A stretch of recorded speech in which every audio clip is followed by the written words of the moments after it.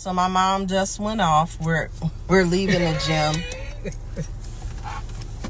and these kids she's on the chest press machine doing her reps. She hadn't even been on the machine.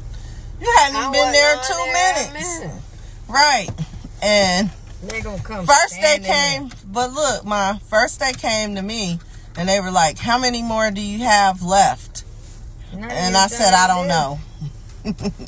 I knew how many I had left, but like, then they walked up to my mom and they asked her, Are you finished? And she she looked at them and she went slap.